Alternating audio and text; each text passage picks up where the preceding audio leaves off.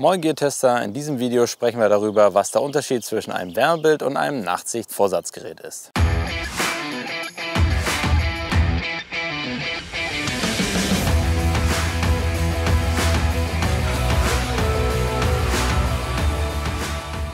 Wenn ihr in die Nachtjagd-Szene startet und ihr wollt nachts auf Sauen jagen, stellt sich als erstes die Frage, was für eine Technik schraube ich auf meine Waffe? Ist das ein Wärmebild-Vorsatzgerät oder ein Nachtsicht-Vorsatzgerät? Wir springen mal ein bisschen geschichtlich zurück. In den Anfang der Nachtsichttechnik gab es Nachtsichtröhren. Das sind extrem verstärkende Restlichtverstärker aus Glas, um es einfach auszudrücken, also Linsen, die eben das Restlicht verstärken. Dazu wurde oft ein Infrarotstrahler eingesetzt, da es der Wellenlängenbereich ist, der eben sichtbar wird mit Hilfe dieses Restlichtverstärkers. Mittlerweile gibt es jede Menge Restlichtverstärker auch digital, wie hier. Ich habe hier das HIC Micro Cheater. Das ist ein digitales Nachtsicht-Vorsatzgerät.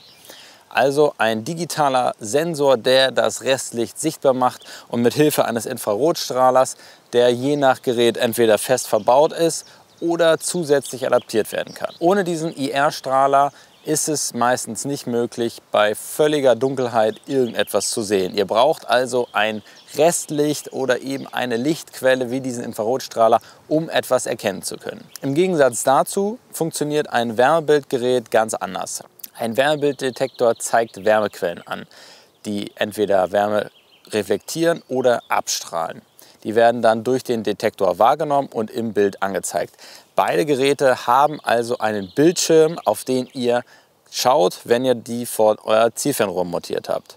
Deswegen müssen auch beide Geräte eingeschossen werden, sodass der Haltepunkt von eurer Waffe mit und ohne Vorsatzgerät identisch ist. Der Vorteil von Wärmebildgeräten ist, dass eben Wärmequellen wild zum Beispiel sehr schnell detektiert, also erkannt werden können. Ihr schaut durch und seht sofort, da steht eine Sau.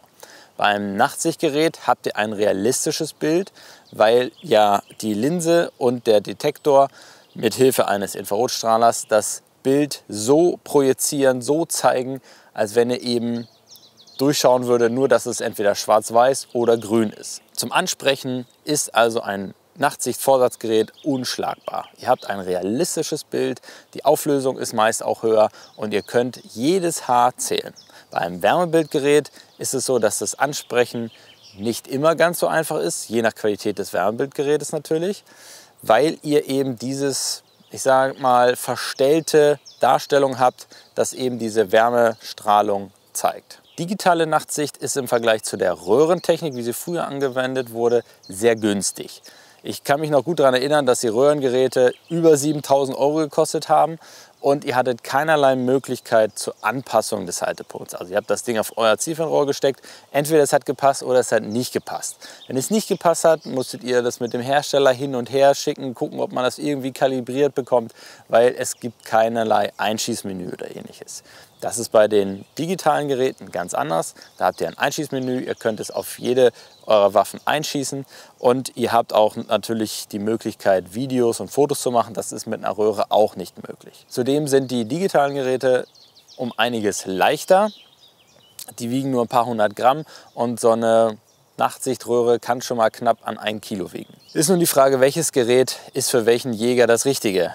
Erstmal preislich sind die Nachtsichtgeräte natürlich von Vorteil. Dann ist es aber so, dass wenn ihr Bäume, Grashalme, was auch immer vor eurem Motiv oder vor dem Stück Wild habt, seht ihr das Stück nicht mehr sehr gut, weil der Baum oder das Gras oder was auch immer den Infrarotstrahl reflektiert und so alles, was dahinter quasi im Schatten steht, schlecht zu sehen ist. Ihr seht auf jeden Fall die Lichter des Wildes reflektieren und könnt darüber ganz schnell erkennen, wo es sich befindet. Beim Wärmebildgerät ist es so, dass ihr auch, wenn viel Gemüse vor dem Stück Wild ist, immer noch erkennt, wo es ist.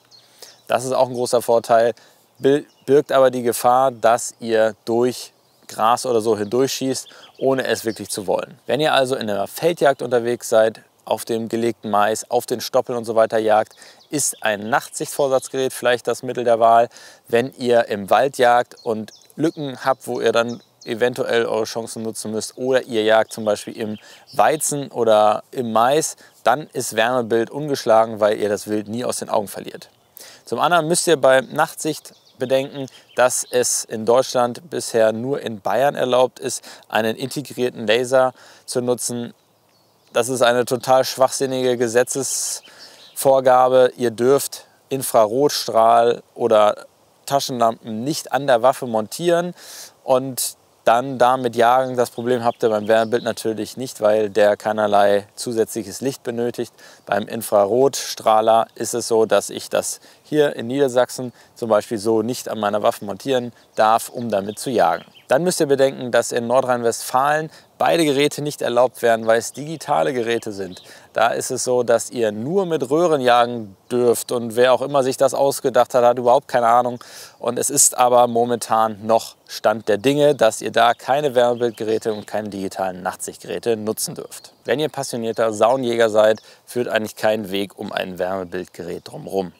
Wenn ihr da aber etwas Geld sparen wollt und ein gutes Handgerät habt zum Detektieren und zum Ansprechen der Stücke, dann könnt ihr natürlich auch beim Vorsatzgerät ein bisschen Geld einsparen und eine Nachtsichtlösung nutzen. Ihr müsst berücksichtigen, dass eventuelle Vegetation im Weg dann auch dafür sorgt, dass ihr das Stück eben nicht sehen könnt. Ihr seht aber die Vegetation. Also es hat Vor- und es hat Nachteile. Im Folgenden blende ich euch Szenen ein, die ich mit dem Wärmebild und mit dem Nachtsichtgerät gefilmt habe, um euch die Unterschiede zu zeigen. Wenn ihr noch weitere Fragen zu den Techniken habt, schreibt sie mir gerne in die Kommentare. Ich versuche sie so schnell wie möglich zu beantworten und wir sehen uns im nächsten Video. Ciao!